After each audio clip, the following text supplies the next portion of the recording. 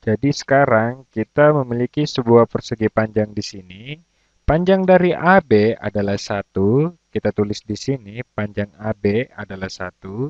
Lalu BE dan BD membagi tiga sudut ABC. Jadi BE dan BD membagi tiga sudut ABC. Membagi tiga artinya membagi ke dalam tiga sudut yang besarnya sama besar. Jadi, sudut yang ini sama dengan sudut dan yang ini sama dengan sudut yang ini.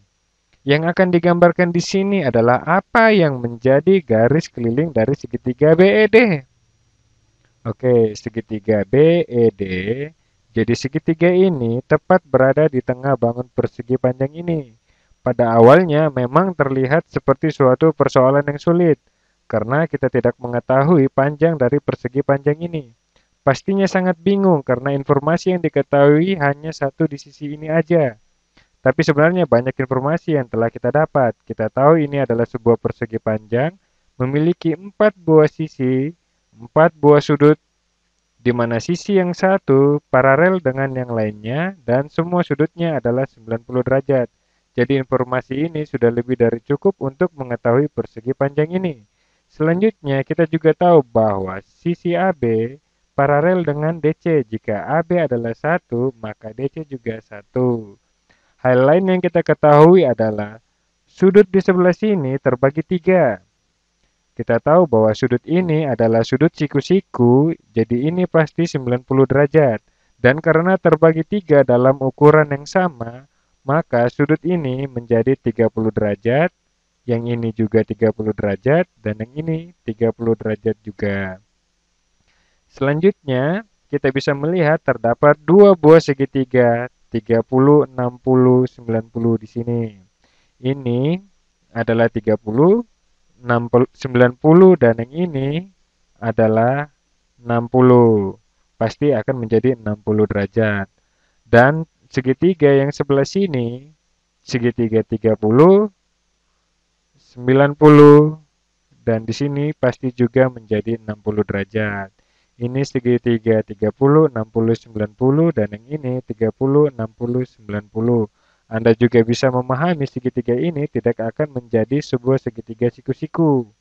Yang kita ketahui tentang segitiga 30, 60, 90 adalah jika kita hanya mengetahui salah satu sisinya, kita bisa mencari sisi yang lainnya. Sebagai contoh, di sini kita punya sisi terpendek, kita punya sisi yang berhadapan dengan sudut 30 derajat, sekarang, jika panjang sisi yang berhadapan dengan sudut 30 derajat adalah 1, maka sisi yang berhadapan dengan sudut 60 derajat akan menjadi akar 3 kali dari ukuran tersebut. Dan panjang ini menjadi akar 3. Dan ini menjadi cukup berguna. Karena sekarang kita sudah tahu ukuran panjang dari persegi panjang ini. Kita baru saja menggunakan pengetahuan kita tentang segitiga 30, 60, 90. Angka, oke. Okay. Angka misterius yang muncul di sini kita peroleh dari video segitiga sebelumnya, yaitu perbandingan pada pada segitiga 30, 60, 90, di mana perbandingannya yaitu 1 berbanding dengan akar 3 dan berbanding 2. Jadi satu ini merupakan sisi yang berada di hadapan sudut 30 derajat, maka akar 3 ini menjadi di hadapan 60 derajat dan untuk sisi hipotenus ini ukurannya dua kali dari sisi terpendek, yaitu sisi di sebelah sini. Oke, ini merupakan hal yang menarik. Mari kita lakukan pada segitiga yang ini. Sisi satu bukan merupakan sudut di hadapan 30 derajat. Ini merupakan panjang sisi yang berada di hadapan sudut 60 derajat. Ini merupakan sisi yang berada di hadapan sudut 60 derajat. Jadi sekali lagi, jika kita mengalihkan sisi ini dengan 3, kita akan mendapatkan sisi yang ini. Satu di sini, satu ini merupakan panjang sisi di hadapan sudut 60 derajat. Jadi, jadi sisi yang ini akan menjadi 1 dibagi akar 3. dari sisi 60 derajat sehingga di sini menjadi 1 per akar 3. Oke, alasan saya adalah berapapun nilainya di sini, jika saya kalikan dengan akar 3, maka hasilnya akan menjadi panjang sisi yang di sebelah sini atau sisi di hadapan sudut 60 derajat. Atau jika saya memulai dengan sisi di hadapan 60 derajat, kemudian saya bagikan dengan akar 3, maka akan menjadi ukuran sisi terpendek, yaitu di sebelah sini.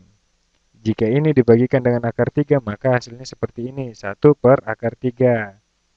Oke, maka untuk sisi hipotenus, itu selalu menjadi dua kali dari panjang sisi ini, yaitu sisi di hadapan 30 derajat. Karena perbandingannya adalah 1 berbanding 2. Nah, jika ini 1 per akar 3, maka sisi hipotenus ini menjadi 2 per akar 3. 2 per akar 3. Ini cukup baik karena kita telah memahami keliling dari segitiga di dalam ini. Kita telah memahami sisi ini, panjang sisi ini adalah 2 dan panjang sisi ini adalah 2 per akar 3. Yang belum adalah sisi ED. Kita tentu bisa melakukannya karena kita tahu bahwa AD sama dengan BC. Kita tahu bahwa sisi keseluruhan dari AB itu sama dengan eh, sisi keseluruhan dari BC sama dengan AD, yaitu akar per, akar 3. Nah, jika AE adalah 1 per akar 3, maka maka ED itu sama dengan akar 3 dikurangin 1 per akar 3. Oke, kita dapat memahami keliling segitiga tersebut dengan penjelasan yang sederhana.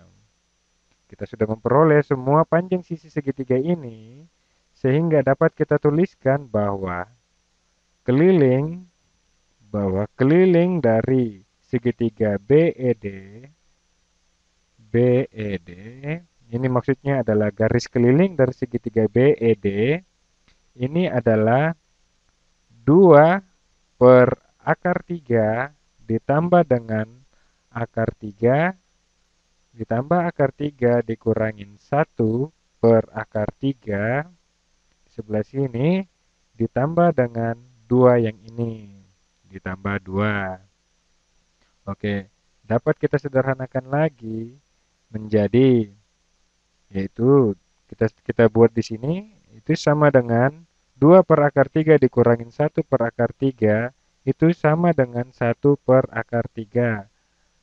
Ini kita peroleh dari 2 dikurangin, eh 2 per akar 3 dikurangin 1 per akar 3. Sehingga menjadi 1 per akar 3 ditambah, kemudian kita tambah dengan akar 3 dan kita tambah dengan 2. Oke, satu selanjutnya kita bisa sederhanakan lagi ini, 1 per akar 3 kita kalikan dengan akar 3 per 3 menjadi akar 3 per 3. Oke, ditambah ditambah ditambah akar 3, eh 3 akar 3 per 3 kita peroleh dari akar eh, di akar 3 ini dikali 3 per 3 ditambah dengan 2. Sehingga kita dapatnya hasilnya yaitu akar 3 per akar 3 per 3 yaitu 1 akar 3 per 3 ditambah 3 akar 3 per 3 itu sama dengan 4 akar 3 per 3 ditambah 2. Oke, ini merupakan hasil dari keliling segitiga BED. Oke, maka kita sudah bisa tentukan keliling dari segitiga ini yaitu 4 akar 3 per 3 ditambah 2.